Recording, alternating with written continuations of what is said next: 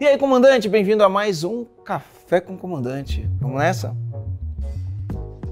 Queria já aproveitar para agradecer o like que você deu nesse vídeo e o número de compartilhamentos que você fez nesse vídeo. E eu sei, você se inscreveu no meu canal, queria agradecer. Obrigado por ter se inscrevido no meu canal e ter acionado a sineta. Muito obrigado e parabéns, você fez uma escolha certa. Nesse Café com o Comandante aqui, eu vou responder algumas perguntas que me fizeram. E se você quiser, no próximo vídeo que eu respondo uma pergunta tua, é só deixar uma perguntinha aqui embaixo pra gente que no próximo vídeo eu vou responder. E se você ativar o sininho, quando eu responder, o YouTube te avisa que eu respondi. É só você vir ver, tá? Tô esperando a tua pergunta, então vamos nessa!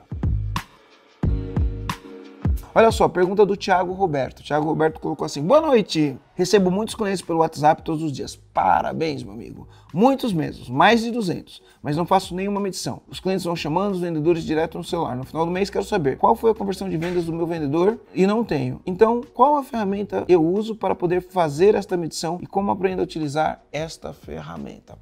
Olha só, eu acho que o problema ele vem antes da ferramenta, porque se você recebe 200 contatos pelo WhatsApp, você não sabe sua conversão, o que você precisa primeiro é criar um processo para isso. Por exemplo, aqui no EAG, todos os contatos que vêm no Instagram do Marcelo, no Instagram do Empresa Autogerenciável, todos os contatos de leads que vêm no nosso, a gente coloca numa planilha de Excel. Ó, tecnologia, né, a melhor ferramenta que existe. A gente coloca numa planilha de Excel, manual mesmo. A gente coloca a planilha de Excel, aí a gente faz uma qualificação do cliente. E a gente põe se ele é um cliente qualificado ou desqualificado, no nosso caso. E aí, os clientes desqualificados a gente dá um tratamento, os clientes qualificados a gente dá segmento. E a partir do, dos clientes eu meço quantos leads eu gerei, quantos deles são qualificados, quantos são desqualificados, e dos qualificados eu marco quanto eu converto em venda. É lógico que eu tenho um processo. O teu processo pode ser quantos eu mando oferta, quantos eu faço cotação, quantos eu faço orçamento, dependendo do que você vende, dependendo do teu processo. O que, que você precisa fazer? Só mapear as partes do seu processo. Coloca tudo num Excel e aí a partir do momento que você coloca no Excel, você consegue ter as medições. Ah, Marcelo, mas é manual e dá trabalho. É melhor fazer isso do que não fazer nada. Agora, quanto à ferramenta? Olha, tá cheio de ferramenta disponível no mercado. O que, que você faz? Você procura as ferramentas, liga para a empresa, pede uma demonstração e avalia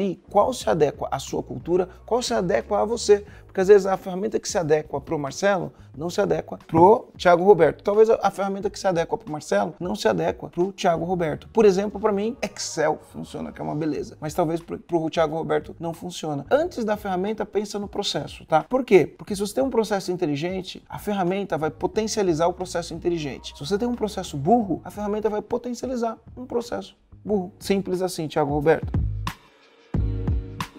Vamos lá, pergunta 2. Myron Regis, sobre finanças. Adoro perguntas de finanças. Até que ponto vale reinvestir o lucro da empresa? Minha empresa tem um lucro apertado, mas tem crescido muito. Empresa do ramo de alimentos que triplicou em dois anos, mas o dinheiro não chega. O capital de giro e o reinvestimento têm corroído o meu salário. É hora de pisar no freio ou aproveitar as oportunidades? Quais são as minhas opções? Quais os principais indicadores devo analisar para tomar essa decisão? Típico, típico de dono de empresa que não entende nada de finanças. Faturamento é vaidade, lucro é sanidade e caixa é rei. E a gestão de tudo isso é rainha. Vamos lá, o que, que você precisa entender, tá? No final do dia, lucro não paga conta. Oh, que interessante, lucro não paga conta. O que paga conta é caixa. Então você precisa aprender as ferramentas de geração de lucro e as ferramentas de geração de caixa. No final do dia, você precisa fazer isso. Para você aumentar o seu, se o teu lucro é apertado, você precisa aumentar os seus lucros. Para aumentar os seus lucros, você pode fazer algumas coisas, como olhar a precificação. Você está com uma precificação correta? Teu preço está correto? Será que você não precificou abaixo do que deveria? Ai, mas a concorrência, só que o cliente só quer saber de preço e a concorrência joga o preço na canela. Legal, quais os produtos que o cliente ele é sensível a preço e quais os produtos que os clientes não são sensíveis a preço? Você pode trabalhar isso, mix de produto, você trabalha a precificação da maneira correta. E é lógico, se você melhorar o teu serviço, você pode melhorar o preço que você compra de uma maneira geral. Então você tem que aumentar sua receita. Para aumentar sua receita, você pode aumentar o preço, você pode atrair mais clientes, você pode aumentar seu ticket médio, você pode vender para mais para o mesmo cliente várias vezes. Então você vai aumentar o seu lucro se fizer isso. Outra maneira de você aumentar seu lucro é diminuindo seus custos. Foco Olha cada linha de custo da sua empresa, tá? E tem um comprometimento de diminuir o custo. Mas como? Como? Liga para os fornecedores, negocia preço com os fornecedores. Toda vez que você for comprar um produto, cota em dois, três lugares. Procura fazer a lição de casa para diminuir os seus custos. Outra maneira de diminuir seu custo é aumentando a produtividade do teu funcionário. Quando você aumenta a produtividade do seu funcionário, você diminui o teu custo. Como assim? Vou te dar um exemplo. Se para fazer uma venda o teu funcionário conversa uma hora e meia com o cliente, você tem uma produtividade. Se você olhar e entender que para fazer uma venda o teu funcionário teve que ficar uma hora e meia conversando com o cliente e você entender que você otimiza esse processo e consegue fazer ele fazer uma venda em 45 minutos, você diminuiu o seu custo você aumentou sua produtividade. Por quê? Porque se ele demora uma hora e meia para fazer uma venda, ele vai fazer quantas vendas? Ele vai conseguir atender quantos clientes por dia? Quatro clientes por dia no máximo. Agora, se ele faz em 45 minutos, ele consegue atender cinco ou seis clientes. Então, ele atende mais clientes, né? Se ele mantiver a conversão, você diminuiu o custo da sua venda. Então, essa é uma maneira de diminuir custo. Não é só negociando preço, é aumentando a tua produtividade. Aumentar a produtividade é um jeito de diminuir custo. Dessa maneira, você aumenta o seu lucro. Ah, mas o teu problema é você não tem caixa. O que, que você faz para melhorar seu caixa? Aumenta os seus prazos de pagamento, diminua seus prazos de recebimento, diminua o seu estoque, se você tiver estoque, estoque. Se você for uma empresa de serviço, faça o serviço mais rápido, porque o custo do serviço é mão de obra, gente fazendo.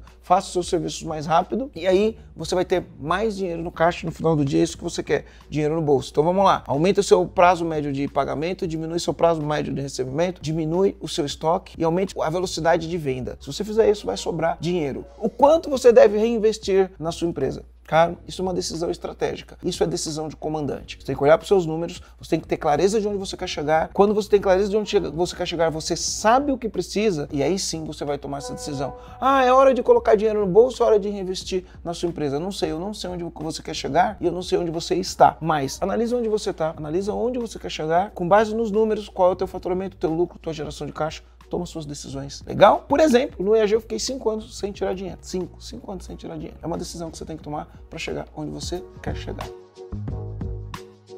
Então vamos lá. O Dionis Vieira perguntou aqui, terceira pergunta. Dionis Vieira perguntou: Boa noite, Marcelo. Quais são as principais ferramentas e processos para tirar a empresa de uma crise financeira? Observação: mesmo a empresa faturando em média um milhão por mês. Cara, olha só, vou te falar uma coisa. Você tem uma empresa que fatura um milhão por mês, você está em crise financeira. A coisa mais difícil você já tem. Olha só, coisa mais difícil você já tem é ter uma empresa que fatura um milhão por mês. Poucos empresários possuem uma empresa que fatura um milhão por mês. Isso é difícil, isso você já conseguiu. Agora, para você tirar ela da crise financeira, é só você fazer uma empresa de um milhão por mês de faturamento, dar lucro e gerar caixa. Ah, Marcelo, mas isso é muito simplista. É, é isso. Tem uma empresa que fatura um milhão por mês, é só você fazer ela dar lucro e você dar caixa. Para você fazer ela dar lucro e gerar caixa, você tem que fazer gestão. Tem que se reunir com o teu time. Qual é a melhor ferramenta para tirar a empresa do, de uma crise financeira? É você se juntar com a tua equipe, você dar clareza para a tua equipe de onde você está, ter um plano, meta, plano de ação e execução. É ter plano, não é sair do dia do nada fazendo um monte de coisa. Estabelece uma meta, reúne teu time, fala: estamos neste problema, queremos chegar nesse problema. A meta é essa. Eu conto com o time. Faça um plano junto com o teu time e execute o plano. Faça o plano junto com o teu time e execute o plano. Se você for pragmático, tiver meta, fazer um plano para atingir a meta e tiver execução e você for firme na execução daquilo, fazendo com que as pessoas se comprometam a executar aquilo que precisa, não tem crise financeira que você não consiga sair dessa. Por que eu falo isso? Porque eu já passei várias, várias crises financeiras na minha empresa. Toda vez que eu tive uma crise financeira, eu volto para gestão. E o que, que é fazer gestão? Fazer gestão é você olhar os indicadores da sua empresa, entender que as coisas não estão indo bem, coçar a cabeça e falar, ih, tem um problema. Só que ao invés de coçar o problema e fazer assim, ih, tem um problema, ah, meu Deus, o que, que eu faço? Você coça a cabeça e fala assim, tem um problema tem jeito, vou ter que resolver. Então, deixa eu fazer uma meta, deixa eu fazer um plano, deixa eu chamar meu time. Time, estamos com esse problema, o que, que a gente pode fazer? Reúne o time, vamos fazer um plano, faz o plano e executa. Chorar, meu Deus, que crise! Não ajuda, não ajuda, definitivamente. O que, que ajuda? Pragmatismo. Executa o plano. Agora, uma coisa que eu aprendi na jornada da vida. Às vezes, quando você está numa crise financeira, você começa a executar o plano, e aí, quando, quando as coisas estão tá ruins, é, é, uma coisa muito louca, né? Se der uma, chu uma chuva de Xuxa, cai um Pelé no teu colo. É assim que funciona. Então, você faz teu plano, você está ali, ali, ali, pum! Vem e dá um problema um novo problema que você não estava esperando. Aí no dia seguinte um novo problema, aí no dia seguinte um novo problema. E aí você desanima. Quando você desanima, você foge do plano. Quando você foge do plano, você fica mais longe de atingir teu resultado. Então o que você tem que fazer? Utilizar a metodologia. Meta, plano de ação, execução do plano. Executou o plano, vê o que funcionou, vê o que não funcionou. De novo, meta, plano de ação, execução. Vê o que funcionou, vê o que não funcionou, meta, plano de ação, execução. Não importa quantos pelés caiam no seu colo mantenha o foco, segue o plano, segue o plano. Não tem crise que resista ao empresário determinado, com meta, plano de ação e execução e foco. E é lógico, do ponto de vista financeiro, você vai aumentar suas receitas, diminuir suas despesas, melhorar teu ciclo financeiro, que é o que eu falei na pergunta anterior a essa, melhorar teu ciclo financeiro e ó, bora pro jogo. Deixa sua pergunta agora, deixa sua pergunta agora, que no próximo vídeo eu vou responder. Não esquece de, ativar o sininho não. Sabe por quê? Se você ativar o sininho, quando eu responder a tua pergunta, o YouTube fala: "Ei, Marcelo respondeu a sua pergunta". E aí você vai poder ver o que, que eu penso sobre o que você perguntou. Tamo junto. Valeu, comandante. Mais um café com o comandante.